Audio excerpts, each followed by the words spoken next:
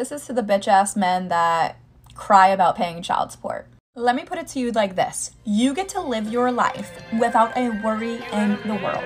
You get to go on vacations whenever, you get to hang out with your friends whenever you want. You get to go to brunch, you get to go out at night, you get to do whatever you want, right? You let him hit it raw. You didn't have second thoughts. Now you a single mom. Now you a single mom. You said I'ma have this kid. Don't care if he's here or not. But now you a single mom. Now you a single mom. Nobody talk about how hard it is to start dating a nice guy after you're only used to dating toxic men? Situationships usually give off this thing called intermittent reinforcement, meaning there's a lot of highs and a lot of lows and you gotta fight for the attention, which makes you think that you like the person way more than you actually do. And when they do show you that attention, it gives you a higher high. So when someone healthy and new comes around that actually shows genuine interest in you and like genuinely wants to be with you, you freak out and you don't know how to act because you're not used to it. When a real genuine connection is consistency, not the highs, highs, the low, lows. It's a normal level. So it can seem really unfamiliar and you might find yourself self-sabotaging. Picking fights, waiting for the other shoe to drop, needing constant reassurance, but lean into that uncomfortability because you're worth a real genuine connection, not the high highs and the low lows. You're worth a baseline genuine connection. You are, and it's worth it seem like women that have children are like burdens. I feel like that's what's portrayed to the world in general. Never hear guys like, I'm checking for the woman with kids. You just don't hear that often. You- Hey, okay, question for y'all. What is too much baggage for you to handle when dating someone or in a relationship? Tell me. What's dating like as a single mom? Girl, terrible. Ooh, terrible? talk talk to me about it. I won't date anyone that doesn't have a little girl. Really? Mm-hmm. You won't date anyone that doesn't have a daughter? No. What all right, so what's the maximum number of kids that a man can have in order to date you? I don't care. Really? Mm-hmm. Because a parent, a man, a single dad that has multiple kids will understand the struggles of a single mom. Being a single mom and like single, single, when I say single, I mean single, and dating just hear me out. So I've been single for about three years. And when I say that it is so hard dating as a single mom, I really mean like it is so hard because you have to divide your time. Like if you start dating somebody, you have to think about the time, you know, that you're spending with your child and trying to commit to dating at the same time. Um, I will admit it's been really hard for me to even want to date anybody because I don't have time. I take care of my son by myself and um when I'm with him, I'm with him like 110%.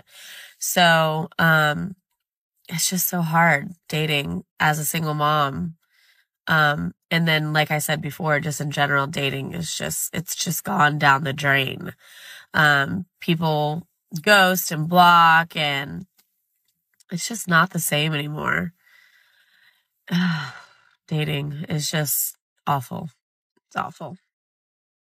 Men don't want to date single mothers, or men always talking about single mothers, this, that, and the third. This is a perfect example as to why. Because again, you expect this man to come in be the man of the house, pay all the bills, be romantic, do all that, be a father to a son that he didn't have. That's not my son. But he has no say so. But he has no say so in the discipline. He has no say so in the guidance. He has no say so in how this house is going to be ran in regards to your son.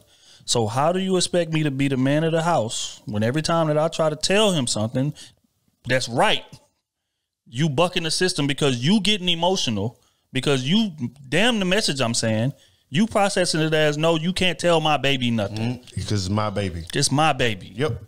So as a man, how enticing is that of a situation to walk into? That's why men don't want to date single mothers. That's why. All right, y'all. Oh, here's the deal. I'm about to share the uncomfortable truth about dating a single mom. Now, I've seen it all over the internet, and I decided as a single mother, let me just be honest. Let's get into it, family. I'm telling on myself, but it's all good. Number one, you will have less availability. Can't be too flexible with the scheduling. It is what it is. Number two, there will be more expectation. When a child is involved, you are dating intentionally, you're gonna be looking for more. Because it's not just about you, it's about your babies too.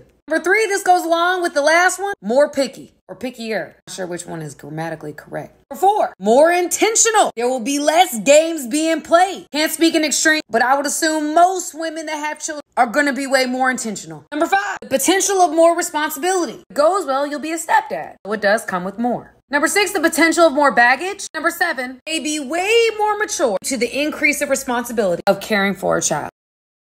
I have the utmost respect for all females, but this is a male advisory channel. Gentlemen, I would not advise you to marry a single mother. Here are the eight disadvantages of marrying a single mother. One, you can never discipline that child. It's not good. Two, if the mother leaves, that's it. You have no hold over the child at all. Even though you had an emotional bond with that child, doesn't matter. If the mother is pissed off at you, she will use that against you. Three, your resources goes into another man's DNA. Four, if it's a girl, huge problem. All it takes is female teenage rage for her to accuse you of any sexual act. The mother will never ever forgive you over her child, and the relationship will never be the same again. Five, there will never be spontaneous sex. Six, you will always need a babysitter. Seven, you will always be in a relationship with the father of the child as well. You will never have time to build a relationship with the mother alone. Relationships are hard enough as it is. You shouldn't have a third person involved. And eight, and you will never, ever, ever come first. As a single mother, your value as a woman is less than somebody who does not have kids. If you're looking for that long term relationship, which you've said you are, looking for a guy who's like at, at your age or older, the men who will be looking for what you're looking for aren't looking for you. They're looking for women who are much younger than you and who do not have kids. Do you understand that? Well, you seem to think that every woman is exactly the same, but I'm not the same kind of person as the woman you're talking about. I don't have an IQ of 100. I'm not a moron. I'm fairly attractive. I don't think I'm going to have an issue. And what I did decide was that I would rather be by myself. My concern wasn't a hypergamy. I'm going to go find someone older, wiser, smarter, better, richer, and do that. I just figured, hey, I'll just hunker down and work. At least I'll be happier by myself. You're saying that you wouldn't be with a single mother that's a millionaire? It wouldn't be my first option, no. You said a millionaire wouldn't want to be with a single mother that's a millionaire. If he can go ahead and get a girl that doesn't have a child, he'll prefer that, yes. Men are very different than women because when a guy comes into a woman's relationship or a relationship with a woman and she has a child, he's going to be expected to take care of that child to a degree. You don't just get with that girl, you get with that girl and that child. And here's the other thing you got to remember. If we break up and I build a bond with that child, I now lose you and the child. And I can't have any type of parental rights to that child because it's your biological child, not mine. I'm a stepfather. So I lose you, the child, alimony, house, 50%. So it's an L for me. It's not worth the risk. So clearly, this woman is really upset with what I would just call the reality of being a single mother. Men are allowed to have preferences. A lot of men would prefer to not date a single mother. That doesn't mean that single mothers don't get remarried and that stepfathers don't exist because they do, but it shouldn't be a shock that that's not going to be for every guy. Single mothers often make poor choices by assuming that going solo is easier and more manageable. They may have been bored with their husband and believed that going solo would be easier, but now they are carrying all the responsibility. Studies show that single mothers' children are the most vulnerable as they struggle in school, fall into vices, and are more likely to end up in jail. The absence of a father diminishes the vital role of men in the family compared to the mother's work. Single mothers often lack proper education and support, and they often lack proper education and support. Instead of working things out with their husband and sharing responsibilities, they are advised to dive headfirst into single motherhood, which usually means leaning on their parents to foot the bill for her new adventure. Life is tough, and splitting up families on a whim doesn't help anyone. Before buying into the fantasy that going solo is the ultimate solution, Consider the long-term mess and the crucial role of a stable family. Men today are expected to be flawless, but no one can be perfect. Every man has flaws, and while his wife might know them, the outsiders don't. Suddenly, he becomes the worst guy in the world because he missed a birthday party. In conclusion, single mothers often make poor choices and are left with the burden of caring for their children alone. It is essential to recognize the importance of a stable family and the importance of a balanced relationship. And that concludes today's discussion on MGTOW Voice. Don't forget to like, subscribe, and hit that notification bell to stay updated on future videos. Share your thoughts in the comments below, and I'll see you all in the next video.